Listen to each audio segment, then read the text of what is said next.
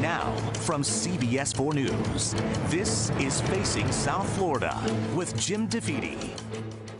Welcome to Facing South Florida. I'm Jim DeFede, and following the leak of the Supreme Court decision that shows the court is about to strike down Roe v. Wade, I found myself trying to decide if I was shocked by the justices obliterating a 50 year old precedent, or if I kind of expected it, because the religious right has been so single minded on abortion that they looked past everything they supposedly loathe about Donald Trump because they knew he would appoint justices who would take away a woman's right to control her own body.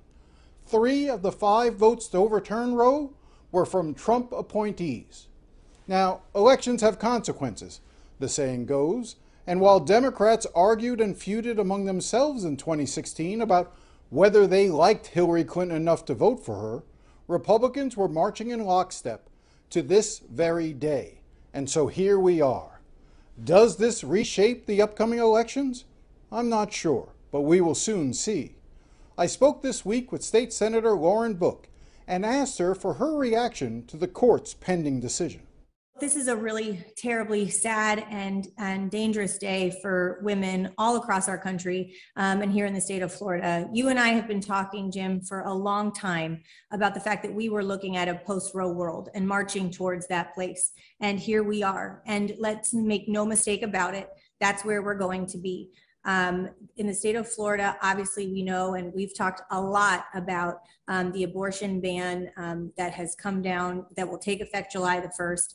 Uh, and so that your viewers know, again, July the 1st, you will not be able to seek an abortion past 15 weeks unless there is a fatal fetal abnormality. And again, as we've discussed, no exemption for rape, incest, or victims of human trafficking, which um, I know that we've talked a lot about too, the face of the Republican Party and the types of policies um, that they are putting forward. Um, and this is a very dangerous day. And I am under no illusion that this is where this is going to stop. Do you think it's possible that the governor may even call another special session just to put on the record a complete ban on abortion?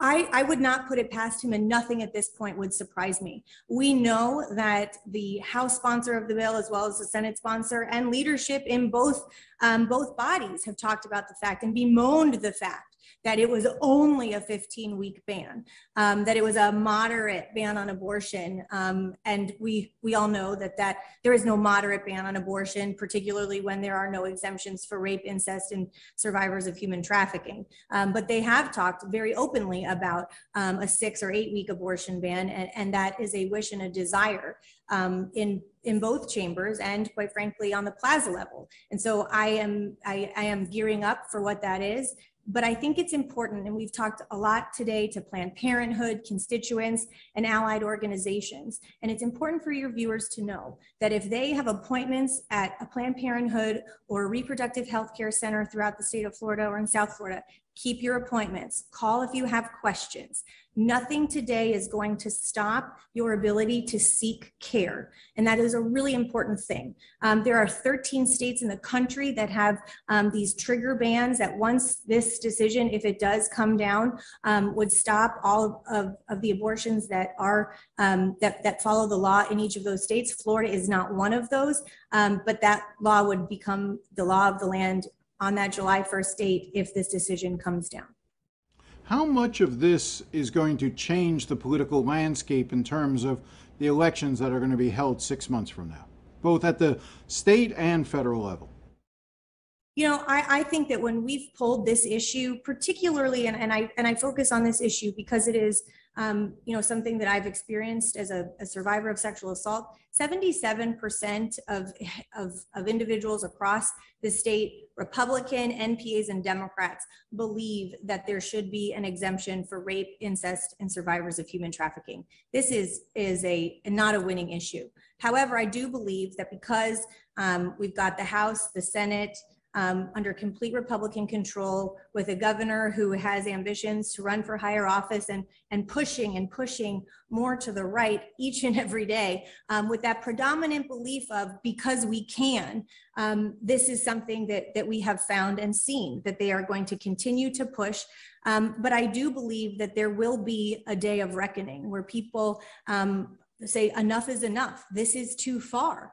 Uh, certainly, it has galvanized a tremendous amount of support um, it, in our communities. We're seeing all throughout the week where we have had um, different gatherings, rallies, marches um, to try to combat some of the things that are, are happening and for people to pay attention to this issue. I do think that this is one of those sea change moments where you have daughters, you have granddaughters, wives, mothers.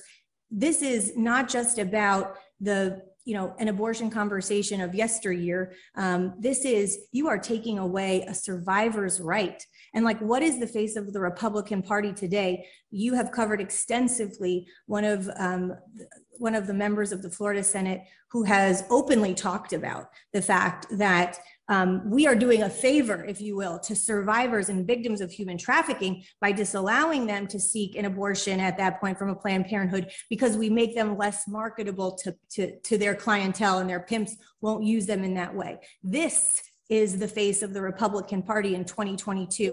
You're talking about the race that is now shaping up between State Representative Michael Grieco, the Democrat, who supports uh, reproductive rights, and Ileana Garcia, the state, the current state senator, who has said she su- would support an outright ban on abortion. Do, do you think that this immediately recast that race into into an issue predominantly about this about abortion? I think that this be, casts a very large shadow and becomes and sucks a lot of the, the, air out of of the room, if it were. And I also believe. We're not going to. In other words, we're, we're we're done talking about critical race theory and or math textbooks and and all the all the sort of games that the Republicans did during during the session that that was good for their base. This is an issue now that really cuts to the heart that that moderate Republicans, independents, and Democrats should be able to galvanize around. I believe that to be the case, and particularly with this conversation and, and this member in particular. And if you go back and you listen to and you watch the debate on the floor, um, Senator Garcia talked a lot about and compared back alley abortions to getting plastic surgery in a parking garage. Let's not make a mistake about what's happening here. Abortions have always existed, they have always existed, and they always will exist. It's will they be safe and who will have access to them? She compared it to some sort of a strange plastic surgery in a parking garage, while then also talking about survivors of human trafficking. At the end of the day, you are taking away not only a woman's right to choose, whether that's because there is a an, a, an intended pregnancy and they find out past the 15 weeks that there was some sort of a fetal abnormality or it doesn't fit into somebody's life for whatever reason she decides that it doesn't. You're talking about and continuing on a path um, of if you've been raped, if you've been sexually assaulted, if you're a victim of human trafficking, if you haven't made that decision by 15 weeks, forget you, move on, too bad, so sad that is, I believe, and, and, and the numbers show, not where Floridians are. That's not where people are across, across the country. Have you gotten any indication as to whether or not the Florida Constitution may give greater protection for privacy rights that would allow abortion to continue in Florida because the, the U.S. Supreme Court seems to be, in its decision, saying privacy is not a valid enough reason from the constitutional standpoint to uphold Roe versus Wade. Does the Florida Constitution offer greater protection? Unfortunately, it does not. And we know that the ACLU has moved forward with a, a lawsuit. And again, I am not an attorney. Um, however, we do know that it will not provide that level of protection. Um, and so the 15 week ban will be the law of the land. And there's not much more um, that, that, that a woman could do at that point. Well, let's also let's also talk about the possible ramifications of what this decision will mean in a broader sense.